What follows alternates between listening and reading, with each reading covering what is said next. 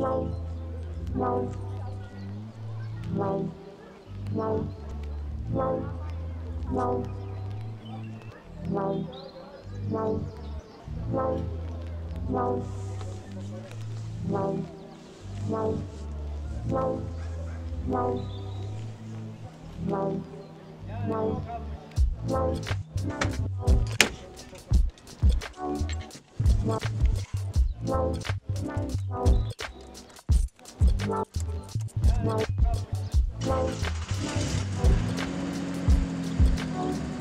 Hey guys, welcome back to the channel. Thank you so much for you guys watching the video today. On today's video, we're going to be installing the 280ZX fender that we found at the junkyard on my Datsun 280ZX. Now, if you guys haven't watched the video where me and my buddy Gabe go to the junkyard and find this pretty mint condition fender uh, that we actually pulled off of another Datsun 280ZX, go ahead and click the right button here. I know I haven't posted the video in quite a while. I'll explain everything in just in a second. But before this video gets started today, be sure to hit that like button and go down below and consider subscribing. So I'm going to go ahead and just jump right into it. Okay guys, so the reason I haven't been posting a lot on my channel is because I've been dealing with a couple of issues that I ran into for the past couple months now. Um, for starters, both of my vehicles haven't been the very best to me so far. Um, unfortunately, on my Honda, on my daily, um, someone broke my passenger window and I couldn't really see out of my passenger mirror and it was just super sketchy to drive around because since I couldn't see anything and there was just glass falling everywhere, I couldn't drive for a little bit until I get it replaced. Um, it is leaking a ton of oil. I'm not sure what's causing it. Like I tried replacing the valve cover gasket. Um, so far it's not really doing anything and I have another um, overheating issue because my cooling fan isn't working. There's a short somewhere. Found out my fuse keeps blowing out. Um, it's gonna take a while just to find, but mainly uh, another reason too is the Datsun has been giving me a ton of problems lately, and well, that's part of the whole package when I'm trying to build and restore this thing. All right, so pretty much um, recently um, I installed an electric fuel pump and a fuel filter, and it increased the performance and the reliability of my Datsun 280ZX. It did help a lot exponentially. Um, the only thing is though, um, when I went to go take it to the professionals because it wasn't starting, it actually needed a new spark plug. So I got this replaced, but they also told me that I have a crack in my manifold. So I knew I had a crack in my manifold for some time now, um, but pretty much it's just getting out of hand now to where the point where a bunch of fumes is coming out of the exhaust manifold.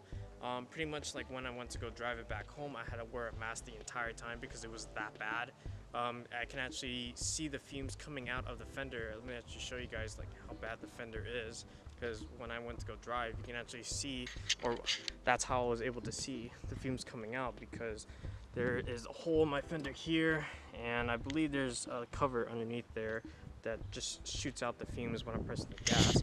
But pretty much um, a couple weeks ago, or I would say a, a month ago at least, I went to go ahead and attempt to try to remove my intake and exhaust manifold. However, it didn't really work so far, or work out so far, because um, I was managed to get the fuel injectors out and the fuel rail. However, when I got to the intake manifold, it was actually a lot harder than I expected. Didn't have the right tools just to take everything out. So pretty much I had to put everything back together and I had a call today pretty much. But Luckily, um, I found a mechanic that was willing to help me, so hopefully in the near future we can get that issue fixed, so that way I can finally take this thing out and take some pictures and go on cruises with the boys. But pretty much, uh, pretty much on today's video, uh, we're going to be focusing on putting in the fender. Alright guys, so I have the fender just chilling right over there, but I got all my tools ready because what I actually need to do, I need to jack up my driver's side because I need to take off my wheel because I need to access my mirror because we're gonna actually have to take this off because I'm gonna be I might not be actually putting that onto the new fender today because there's some other things I wanted to talk about that I'll get into eventually. But pretty much what we have to do is jack the front of the vehicle up on the driver's side remove the wheel and then expose the few bolts that I have to remove. In the video with the junkyard I did show there were some bolts we had to take off but I'm not really too sure like where they are again so for starters, we're gonna go ahead and jack the vehicle, and then we're gonna get right into it.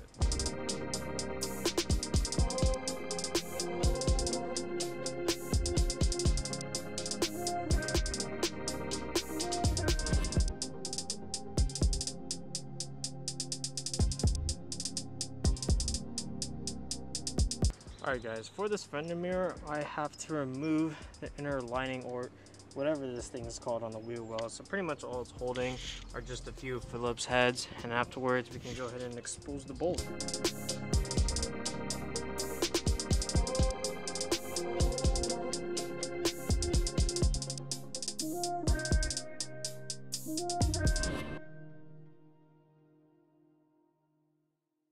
Okay guys, that little bracket that's up there is what's holding the fender mirror in.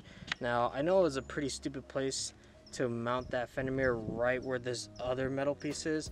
That's because when I went to go install the fender mirrors for the first time, I actually put them in the wrong place because the way that I have it mounted up is, is directly in the middle of the fender where it's supposed to be onto the more of the edge of the fender on the outside. But eventually when I get another fender mirrors again, I'll do it right this time. But for now, we're gonna go ahead and start unbolting the fender mirrors and then we can start moving on to the fender. Okay guys, bracket is out. Now we can go ahead and just pull this straight up and that's pretty much it. And all I have to do is just remove this other, this other socket, just like so. And that's it. All you have to do now is move on to the fender and just set this one aside. Also guys, another thing too, what's wrong with the Datsun, just out of nowhere, this passenger fender mirror just started being very flimsy for no reason at all. I don't know if it's because someone accidentally broke it when I took it into the shop or um, a neighbor happened to bump into it by accident, but pretty much this is pretty much useless, so that's why I'm going to be changing my fenders in the future. Okay guys, so the next step on removing my fender is we're gonna remove these turning signals. These actually don't work surprisingly. Um, I'm not too sure why. I really want these to work again. I think it's a very nice characteristic about this car. So after we remove that, we're gonna go ahead and open the hood because there's some bolts that we have to um, unscrew as well. Um, from what I remember when I was at the junkyard removing the other Datsun fender, um, pretty much I noticed there was some connected actually right here, but there's not even there's not even any connection at all because the rust was just so bad and it's not even connecting no more. Um, I believe there's one down here in the engine bay area, but we're just gonna do it at a little time. So we're gonna go ahead and just start with this turning signal.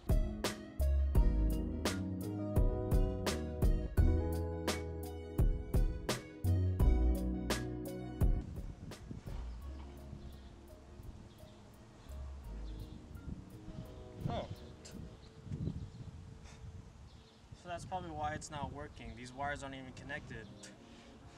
Alright, so turning signal's out. Okay, so as you guys can see, now I know why my turning signal is not even working because these wires aren't even connected to anything. So it was just sitting there. So that's something we're definitely gonna have to fix in the future. Okay guys, so when I noticed when I took out the turning signal, there's these plastic pieces here. Um, I have a feeling we're gonna might we're gonna need these, but I'm not too sure how to take them out. I think there's something behind. Oh, okay. It's a clip you have to push out. I'll get them out in a second because I have a feeling I might break them. So for now, I'm just gonna concentrate on removing this entire fender.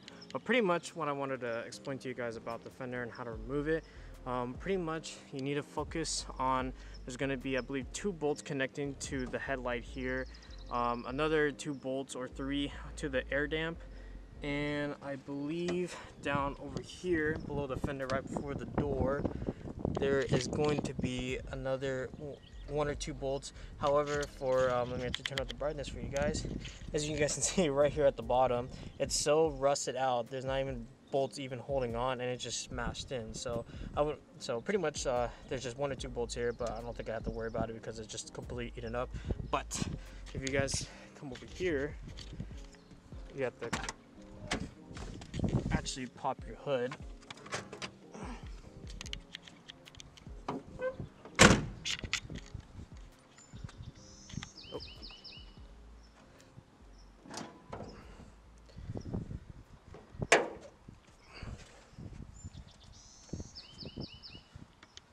So as you guys can see, turn that down for you guys.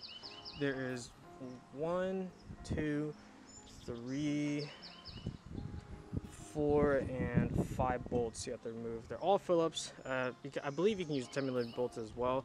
But I'm gonna try to get try to use a Phillips head instead. But with that being said, let's go ahead and take this fender off.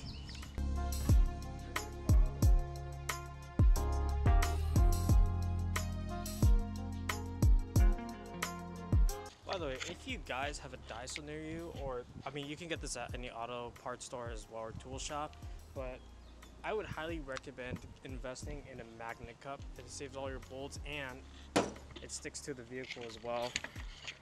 Just such a key component to when working on cars. And this thing only costs a buck fifty, so if you guys need one, I would definitely go check out Daiso. Oh, before I forget too, actually, if you open your door a little, there is another one right there.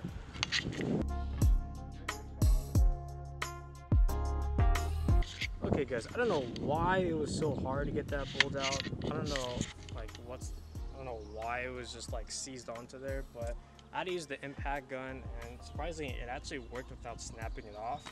Um, low-key don't feel like doing that again because I could have snapped it off and made things worse. But good news is I believe there's just one bolt connected left and I believe it's the one at the bottom. But the thing is um, that's where the pinch roll is and I have to hammer it back completely straight in order for me to remove the bolt. So I'm gonna go ahead and get a hammer, um, move that tire out of the way and just start hammering and hopefully we can get that bolt out and this finish should come right off.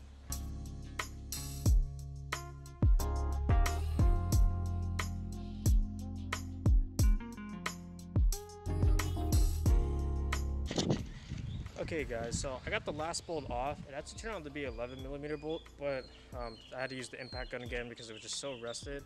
Um, if you guys had a rusted fender like mine, be sure to wear eye protection because there's definitely a lot of rust just flying everywhere on my face. But I'm just wearing glasses right now, but obviously the tool glasses, so much better.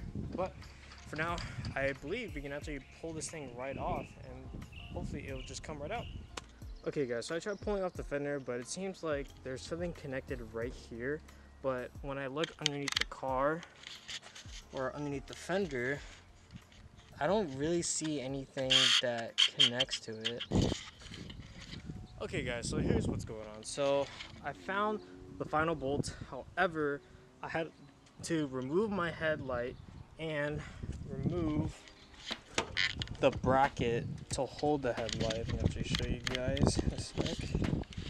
So I had to move this whole bracket disconnect, just a few Phillips screws, so that way I can access a 10 miller bolt that's right here and the fender should pop off afterwards. So I'm gonna go ahead and unbolt that and then we can pull this fender out. Okay guys, so the left driver's side fender is finally off. I end up did off taking off a few other things too. As you guys can see, I don't have my headlight cover or the headlight in right now. That's because um, I actually need to take some of the components out from the bumper or the, the air damp, the headlight, and I believe the inner lining of the wheel well. Um, I have to transfer over onto the new fender.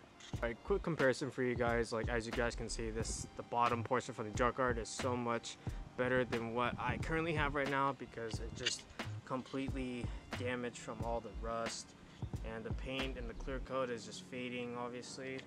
Um, there is a little damage however to the bottom portion of the new fender.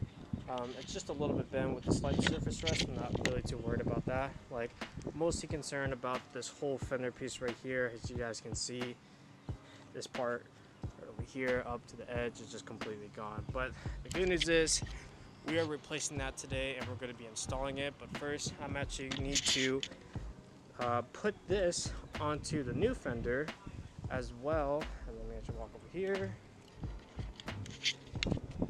Is get this bracket prepared for the new bolts to be put on. And I believe there's just a few 10 millimeter bolts too that have to go into the new fender and then we can go ahead and install it. Okay guys, so for the old fender, I don't know if this is going to be on your guys' car, but if it is, make sure you push these out from behind. Uh, we're going to need these for the turning signals. Alright guys, I put on all the components I needed to put on onto the new fender from the old one but I was actually a little bit worried at first that the headlight cover wasn't going to be pretty exact with the body lines but it actually turned out to be quite nice and it's pretty spot on. Um, the only reason why I was worried because if you guys don't know on my Datsun 280ZX it's a 2x2 version meaning it has an extra two seats in the back. You guys can't really see it because I don't have it set up right now but like you can tell it's a 2x2 if you have window like this because the other one is kind of like a triangular shape uh, triangular shape but um, anyways uh, so far, like it's fitting on pretty nicely. I already um, just like try to align as best as I can when the fender was still on. So I'm pretty confident it will fit, but we're gonna go ahead and put it on the car and see how it actually looks.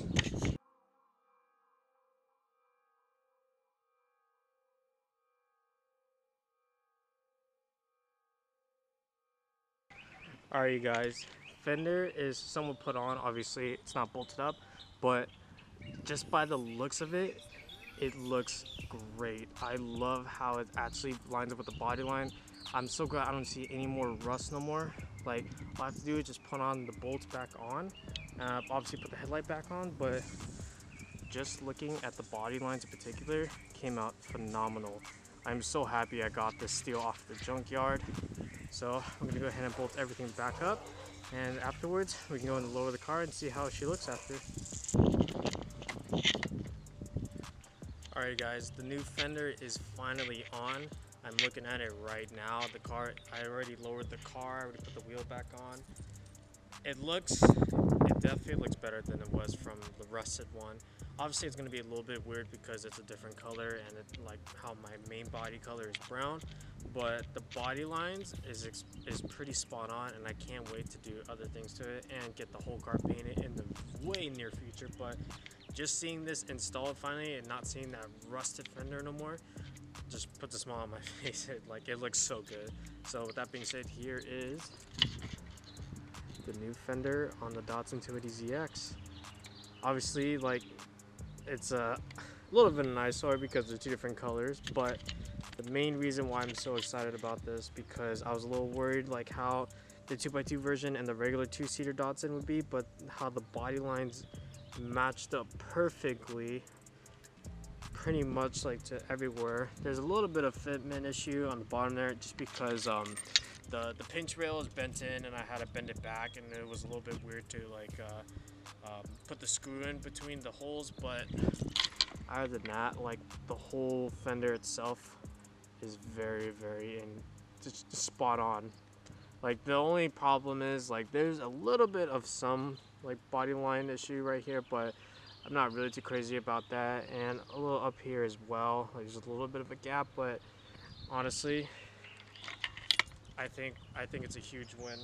Like matches so good and another thing too like when we pulled the fender we also got the 280ZX badge which is really cool because um, on my old fender there wasn't a 280ZX badge but just to have that obviously we'll be replacing with a brand new one in the future but just seeing that alone and a new fender on the Datsun 280ZX, like we got we taken care of the most rusted spot on the Datsun, and I couldn't be more happier. Obviously, we got way more other rusted spots. I'll probably be doing a bonding video pretty soon, like on the window cowl here and a little bit on the rooftop as well, and definitely the corner panel windows definitely need to do some bondo work in the future. But that pretty much said, like the only left thing to do just to have this fender completed is install another fender mirrors. That one's obviously broken. This one I have, but like I don't think I'm going to be putting on the same fender mirror onto the new fender.